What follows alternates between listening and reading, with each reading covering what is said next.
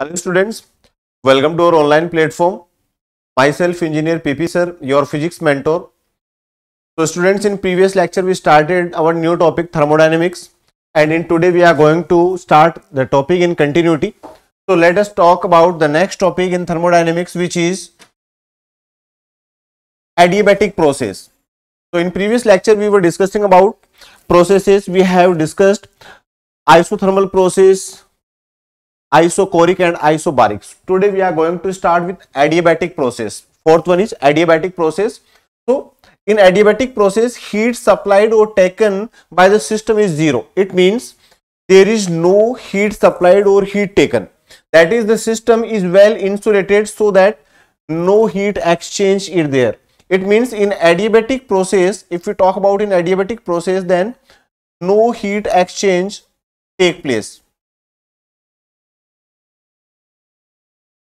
no heat exchange take place. It means uh, heat can neither be entered nor be left. If we talk about its equation, equation of this adiabatic process, then it is simply known as P, P to the power gamma is equal to constant. P V to the power gamma is equal to constant. So, here gamma is a constant which simply represent here this adiabatic process. Now see in different forms we know that PV is equal to nRT or P is equal to nRT upon M. So in terms of temperature volume and temperature pressure we can write down it as T V to the power gamma minus 1. So its another form is T into V to the power gamma minus 1 is also equal to constant Similarly, if we replace it in terms of pressure and temperature, then we can say P, P to the power 1 minus gamma into T to the power gamma is equal to constant. So, these three equations are there for any adiabatic process in terms of pressure volume, temperature volume or pressure temperature.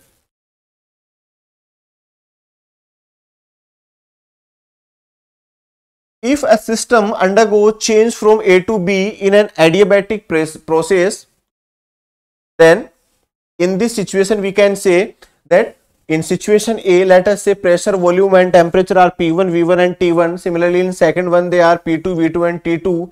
Then we can say that P1, V1 upon T2, uh, P1, V1 upon T1 is equal to P2, V2 upon T2 and they are equal to constant which is NR or in other words we can say that P1 V1 to the power gamma is equal to P2 V to the power gamma.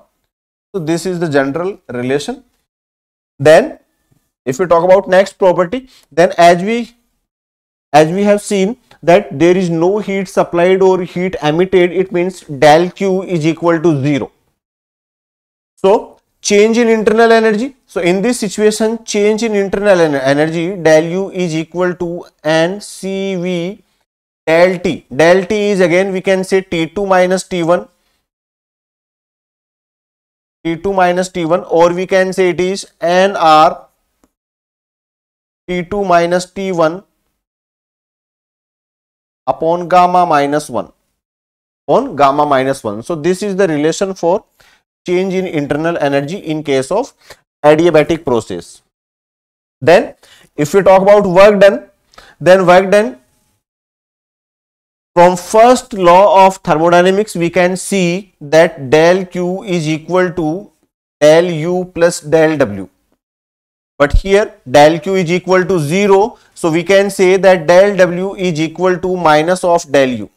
It means work done is equal to negative of change in internal energy and we have seen internal energy here. So, work done is also equal to NR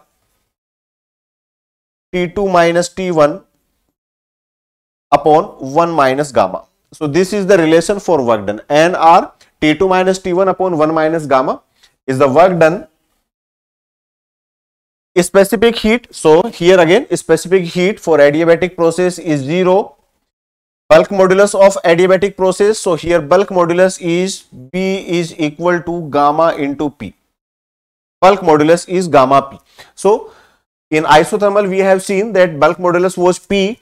Here in case of adiabatic process it is gamma times of P. The equation of first law of thermodynamics. So here we can see from first law of thermodynamics that nc dt is equal to ncv dt plus pdv. Here pdv is work done. For adiabatic process we have seen that dq is equal to 0. So this value is equal to 0 or we can say that p is equal to nRT upon V. If we replace this value then we can see that Cv is equal to R upon gamma minus 1. So these are important relations.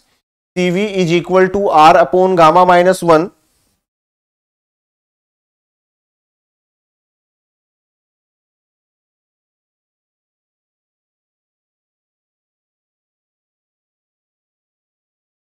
work done. So work done is simply W is equal to integration P dV. Now place value of P here by using this relation. So P is equal to K upon V to the power gamma. K is constant. So this relation is we have seen it earlier also. This is the relation P1 V1 minus P2 V2 upon gamma minus 1 or we can say so see I'm writing down here uh, relations for work done. So, one is W is equal to P1 V1 minus P2 V2 upon gamma minus 1. One more relation we have seen in previous slide in terms of del U. We know that del W is equal to minus of del U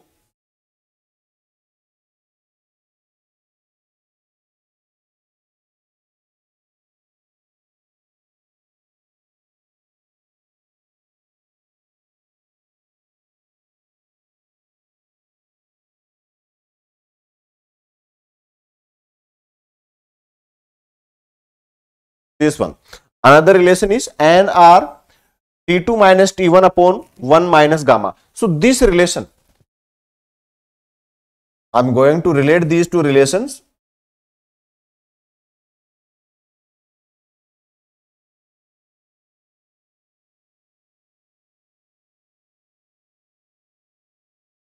So, here we can see that it is P1 V1 minus P2 V2 upon gamma minus 1 and it is we know that PV is equal to nRT. PV is equal to nRT. So, we can say P1 V1 minus P2 V2 upon gamma minus 1 or we can say nR T1 minus T2 upon gamma minus 1. So, these two are the relations for work done in case of adiabatic process. Now, let us see pattern of questions. Here we are given that du is equal to minus dw is true for. So we have seen that it adiabatic process change in heat is equal to 0. So here work done is equal to minus of change in internal energy. It means du is equal to minus dw is applicable for adiabatic process. It is applicable for adiabatic process.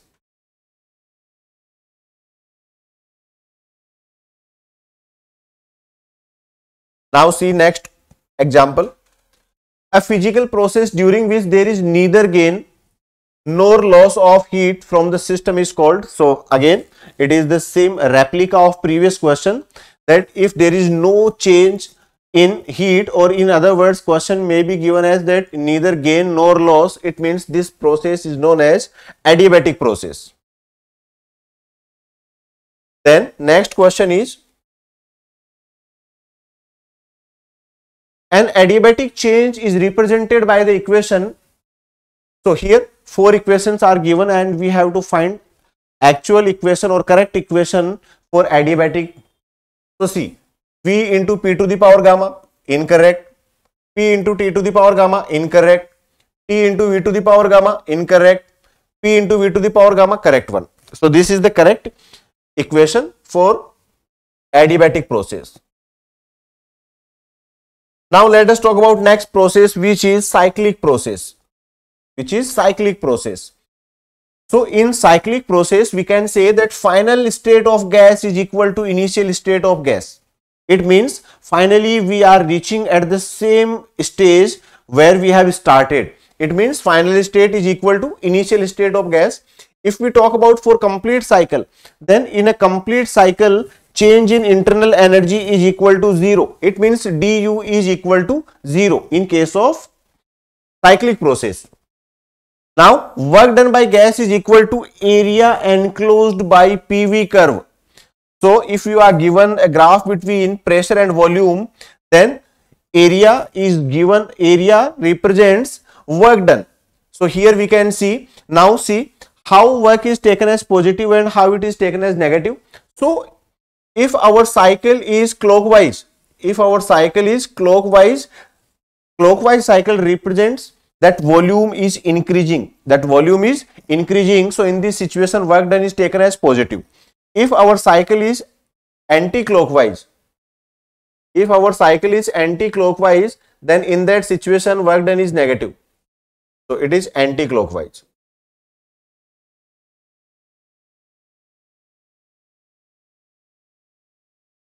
here net heat in the process is given by so net heat is total heat supply plus total heat rejected. So total heat is total heat supplied plus total heat rejected. Efficiency of cyclic process. So if you talk about efficiency then efficiency of cyclic process is total work done in cycle divided by total heat supplied into 100 so efficiency is we can say total work done in one cycle divided by heat supplied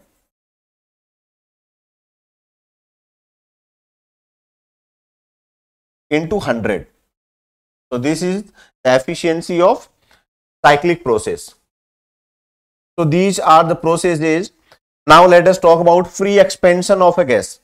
So if we talk about free expansion of gas, then let us talk about conditions. Del Q is equal to 0 because of non-conducting vessel. So if we consider expansion of gas and uh, we are also considering that vessel vessel is non-conducting in that situation del q is equal to 0 and pressure is also equal to 0 because of vacuum it means del w is equal to p del v is equal to 0 so for any gas del w is equal to 0 it means del q is equal to 0 so during the expansion of any gas we can say that del q is equal to 0 always and del W is also 0 as there is no pressure P is equal to 0. For an ideal gas, no internal work against the intermolecular forces. So, in gases there are no intermolecular forces. If we talk about for ideal gas then during the expansion of ideal gas there are no intermolecular forces. So, work done by these intermolecular forces is 0. So for ideal gas, we can say that change in internal energy is equal to zero or you can say that internal energy is constant and temperature is also constant. If we talk about real gas, so real gas has to do work against intermolecular forces in order to increase distance between gas molecules. Hence, internal kinetic energy decreases. So internal kinetic energy decreases. In case of real gases, so what is the difference in expansion of real gases and ideal gases? So in ideal gases, there are no intermolecular forces, hence work done is zero. While in case of real gases, work has to be done. Work has to be done. And in this situation internal kinetic energy decreases. Internal kinetic energy decreases. So internal kinetic energy decreases so it gives only adiabatic cooling effect. So it gives only adiabatic cooling effect so here we have seen that if we talk about expansion of uh, re real gases then it is simply an adiabatic process. And if we talk about expansion of real uh, expansion of sorry ideal gases then it is isothermal process. So we have seen for ideal gas that du is equal to 0 it means internal energy is constant and temperature is also constant while in case of real gas work has to be done against intermolecular forces to expand. So it is a adiabatic process now let us talk about main conclusions So free expansion of ideal gas. So free expansion of ideal gas is adiabatic isothermal. Free expansion of real gas only adiabatic. So we have concluded it here that if we talk about expansion of ideal gas then it may be adiabatic isothermal and if we talk about real gas then it is only adiabatic process. Now drawbacks of float. Float is first law of thermodynamics. First law of thermodynamics. So what are the drawbacks of first law of thermodynamics? So here no information about what part of heat converted into mechanical work. So here there is no specific amount of conversion heat into mechanical work. And then next one is does not give proper direction of heat flow. So these two drawbacks are there in first law of thermodynamics that in first one we can say that how much amount of heat is converted into mechanical work is not specific and second one is that direction of heat flow cannot be predicted or cannot be given. Let us talk about second law of thermodynamics. So second law of thermodynamics, so there are two different statements for second law of thermodynamics. First one was given by Kelvin and Planck. So it is known as Kelvin-Planck statement and Kelvin-Planck statement shows that in any cyclic process, in any cyclic process, total heat cannot be converted into mechanical work. So Kelvin-Planck stated that in cyclic process, total heat cannot be converted into mechanical work. Second statement uh, was given by Clausius so Clausius said, said that it is impossible to have net heat flow from low temperature to high temperature. Net heat flow can is not possible from low temperature to high temperature. So these two statements are there in second law of thermodynamics. Third one is the advanced form of this that this theorem states that efficiency of any reversible heat engine efficiency of any reversible heat engine cannot be greater than or equal to efficiency of a reversible heat engine. It means that efficiency cannot be 100%. Work between heat source and sink. So, based on second law, we will talk about heat engine, Carnot engine and refrigerator. So, let us first talk about heat engine.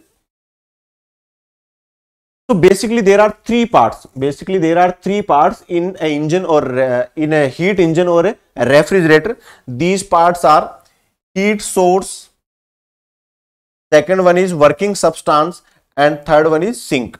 So whenever we talk about heat engine then source is taken at source is taken at high temperature. Source is taken at high temperature while sink is taken at low temperature.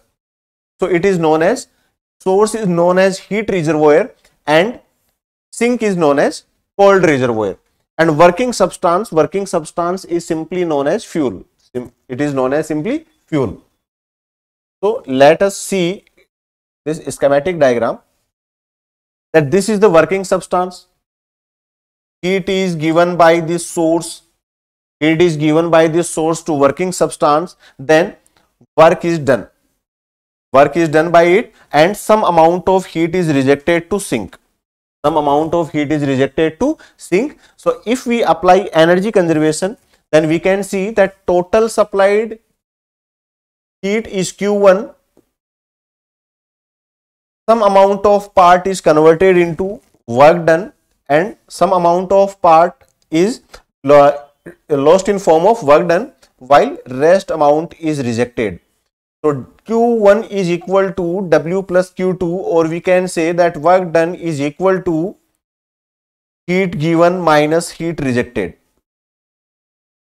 Heat given minus heat rejected. So this is the simple relation for heat engine. If we talk about efficiency, efficiency of heat engine then we can say that how much amount of work, how much amount of work is done with respect to heat supplied so heat supplied is Q1. So it is W upon Q1 into 100. This is the efficiency of heat engine. If we talk about temperature, then we can see that it is eta is equal to W can be seen from here W is equal to Q1 minus Q2. We have seen it earlier. So it is 1 minus Q2 upon Q1 into 100 or we can say that this heat is proportional to temperature. So we can also say that eta is equal to 1 minus T2 upon T1 into 100. So these three relations are there for efficiency of a heat engine. In case of Carnot engine, in case of Carnot engine, Q1 upon Q2 is equal to T1 upon T2. Carnot heat engine in Carnot heat engine in cyclic process dU is equal to zero in cyclic process change in internal energy is equal to zero and total heat supplied is equal to total work done Q net is equal to W net so we can see that Q net so we have seen the total heat is equal to total total heat absorb minus released तो Q absorb minus Q released is equal to W net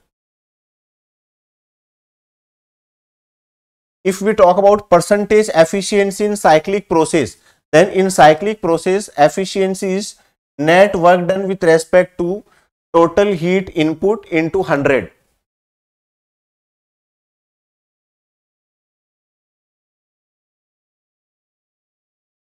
So, it can be explained by this relation.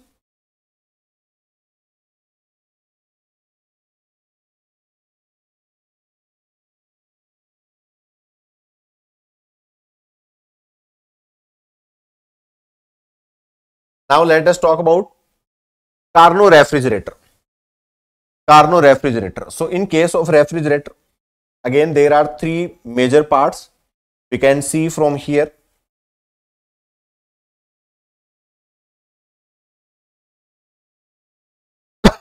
sorry so in case of refrigerator it is the reverse process of heat engine it is the reverse process of heat engine it basically refrigerator basically works on Clausius statement of second law of thermodynamics. In this situation what happens? That work is done on the working substance. When work is done on working substance then heat is rejected to the source. Heat is rejected to the source and some amount of heat is absorbed from the reservoir from the cold reservoir rather which is known as sink. So, in this situation we can say that W plus Q2 is equal to Q1. Process is reversed that now work is done on the working substance and heat absorbed by the working substance then it will reject heat Q1 to the source. So, in this situation again W is equal to Q1 minus Q2, Q1 minus Q2.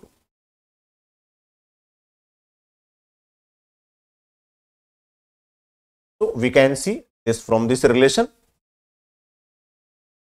So, the only difference in a heat engine and a refrigerator is that in heat engine work is done by working substance by acquiring some energy from the source in form of heat while in case of refrigerator it absorbs the heat from sink and work is done on the working substance then energy is absorbed by by the uh, source in form of heat.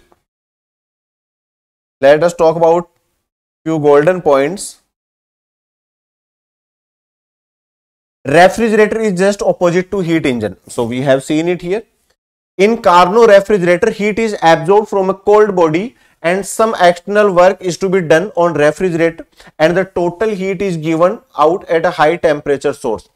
So, as I told you earlier that it is based on Clausius statement and Clausius stated that heat cannot flow from low temperature to high temperature and if I correct that statement then it is like it may be written like this that heat cannot flow from low temperature to high temperature unless external work is done. So, here refrigerator is the example of that statement of that second law of thermodynamics that heat is flowing here from source to sink, but when external work is done.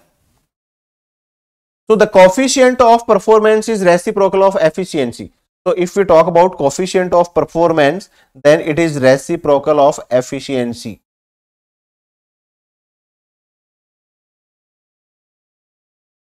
So we can see that coefficient of performance beta is equal to 1 upon eta and eta is simply known as W upon Q1. So we can say it is now Q in upon W. It's reciprocal. Q in upon W. Now see heat is absorbed. Now heat is absorbed from sink. So we, we will write down here that it is Q2 upon W it is q2 upon w or we can say that it is q2 upon w can be written as q1 minus q2 q1 minus q2 so we can say that it is 1 upon q1 upon q2 minus 1 it can be written like this.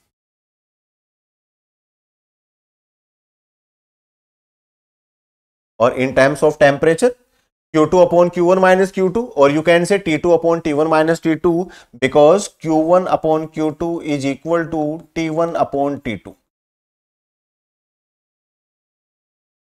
So these are questions for practice. Practice these questions on your own. Now let us see few solved examples the internal energy of monoatomic and diatomic gases are respectively due to. So see, if we talk about internal energy of monoatomic and diatomic gases, then in monoatomic gases, internal energy is due to linear motion, due to linear motion, while in case of diatomic, it is rolling motion.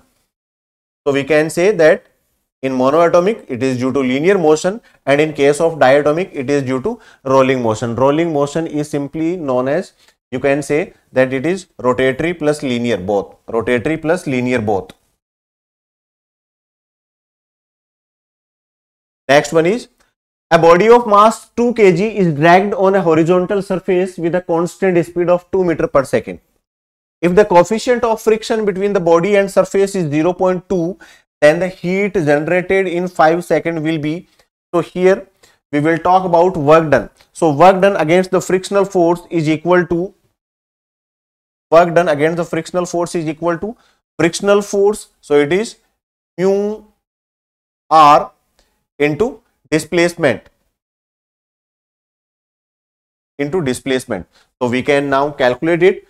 Mu is given as 0.2 this R is known as simply mg.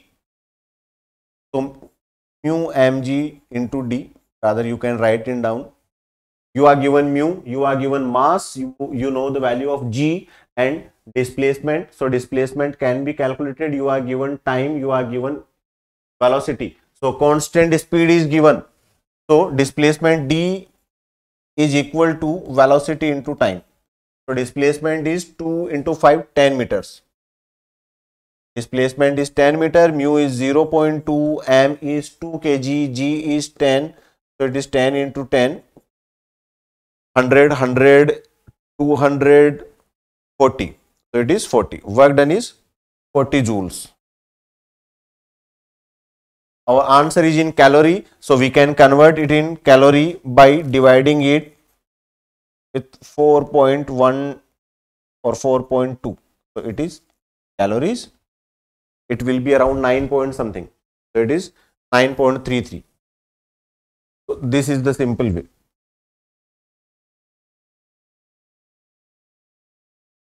Now let us see next question. The height of a water spring is 50 meter. So we are given height of water spring as 50 meter. The difference of temperature at the top and bottom of spring will be, so in this situation we will use again energy conservation. So energy at height is mgh which is equal to ms del t ms del t. So m is cancel out. We know the height uh, we are given height we are given g we we have to find temperature difference. So we can calculate from here. So del t is equal to s upon s. And for water uh, s is 4.2 into 10 to the power 3. We can calculate it here. Now see next question. In the figure 1 indicator diagram, the net amount of work done will be, so here net amount of work done will be, see, process is anti-clockwise. Process is anti-clockwise. So in case of cyclic process, we have seen in today's lecture that if pro, uh, process is anti-clockwise, then work done will be negative and if process is clockwise, then work done will be positive. So here, if we talk about this process, then we can clearly see from A to B, if we talk about from A to B, then volume is constant, it means no work is done. From B to C, volume is increasing, it means work done is positive and from C to A it is decreasing it means work done is negative. So, if we talk about overall work done then overall work done is negative.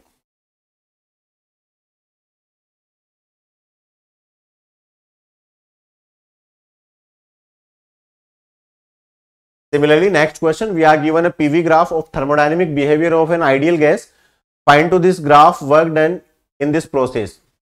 So, a to B, B to C, C to D and D to A. So we have to find work done in all the four processes.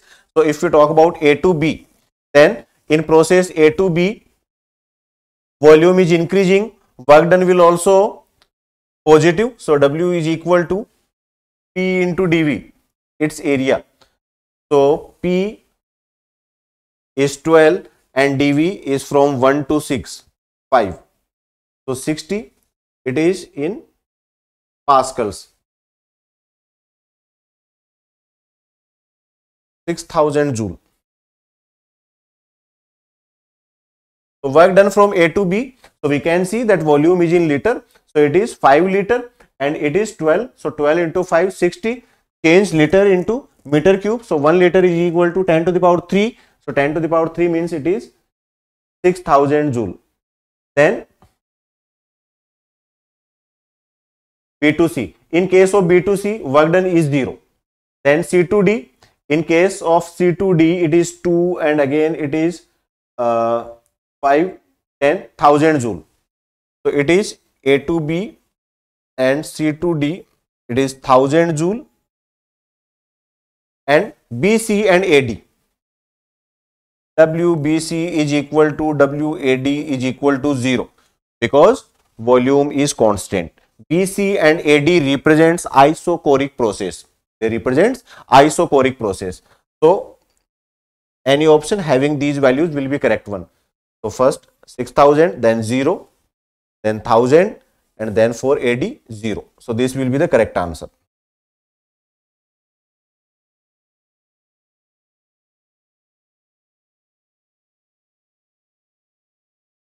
Now see the next question based on Carnot engine.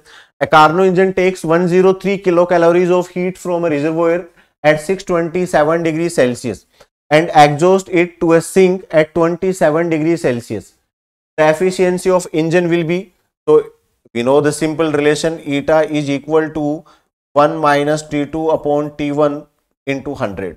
We will use this relation and we will calculate its value. So we are given T2 and T1 627 degrees Celsius convert these temperatures into Kelvin. So we will convert it in Kelvin. It becomes 900 Kelvin and it becomes 300 Kelvin.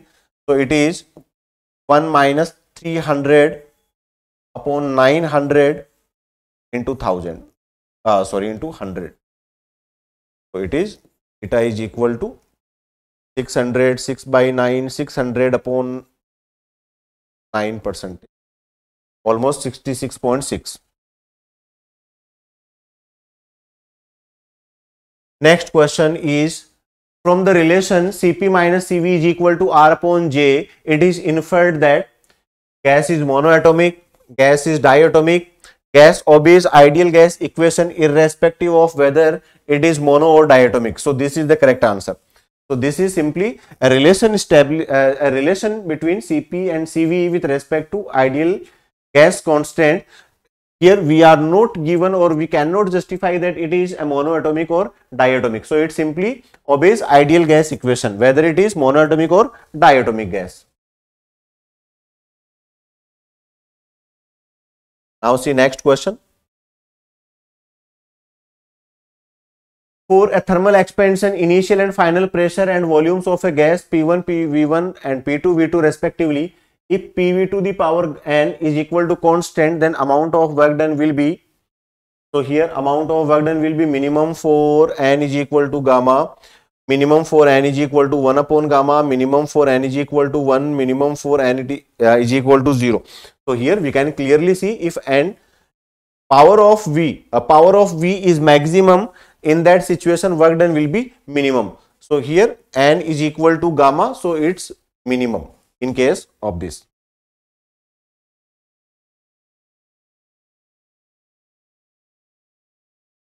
Now see the next question.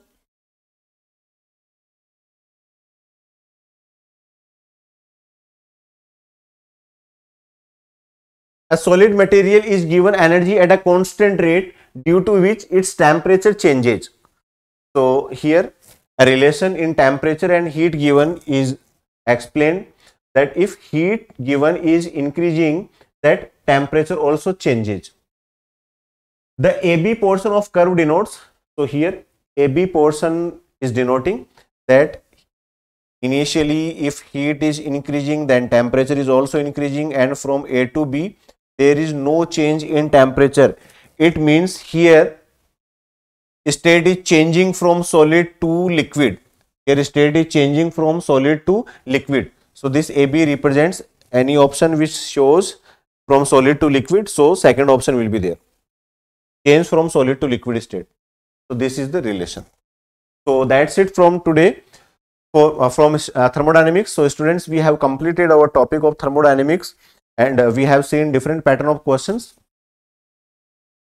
thank you for watching the video. We will meet in our next video with our new topic. So thank you students. Thank you for watching the video. Thank you for showing your love and affection towards our channel. Thank you students